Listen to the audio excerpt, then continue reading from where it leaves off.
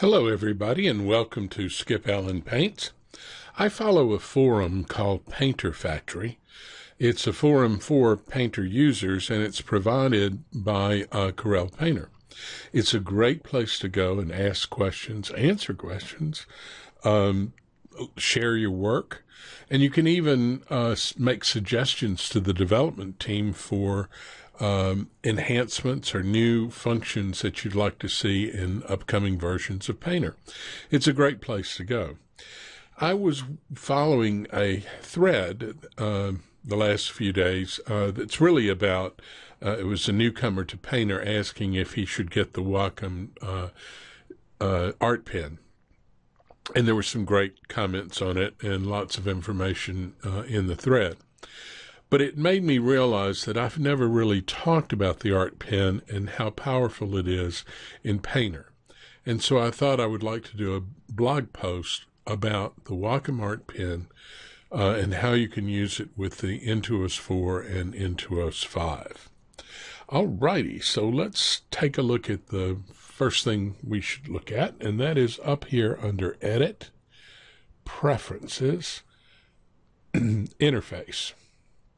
Now, if you're on a Mac, it would be Corel Painter Preferences Interface. And what I want to show you is that I've selected Enhanced Brush Ghost. That's a G there. I have my icons, I mean, my, fonts made larger than normal, and so sometimes they don't fit.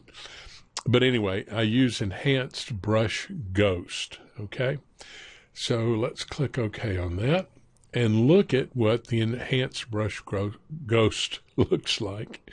What you see, and I'm in, using the grip pen right now, you see a circle with a little dot in the center. And as I get closer to the tablet, you can see there's a line that uh, comes out from that center. What that line does is it shows the direction of the stylus. In other words, with it right now, that means that the stylus is angled to the tablet and the tip, the upper tip, is pointing toward me. Doing it this way, the upper tip is pointing the other direction. Okay, so that's what that little dot means.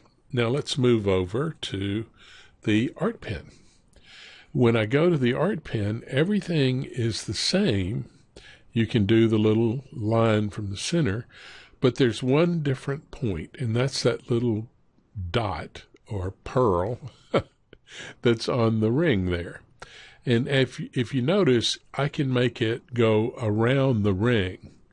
And the way I'm making it go around the wing ring is I am twisting the barrel of the uh, art pen.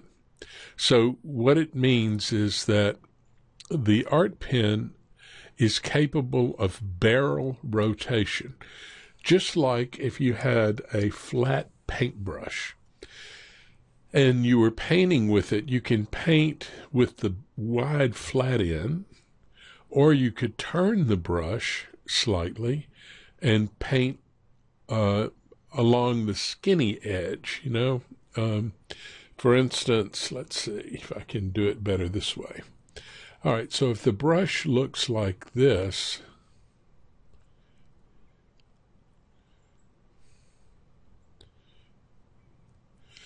I can paint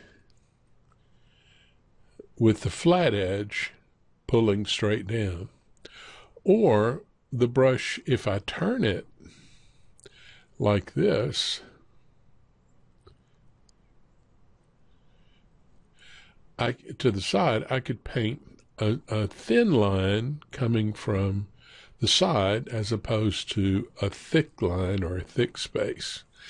And so I could turn the barrel of this um, brush in order to deter- to decide how I want to paint with it. The the how much of the bristles that I might want to use, I guess, would be a way to think about it. Okay. So basically, an art pen has the ability to rotate the barrel. Okay?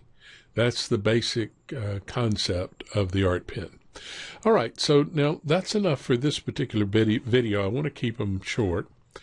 And so let's uh, stop here and we'll come back and explore a bit more about the art pen. All righty, bye bye.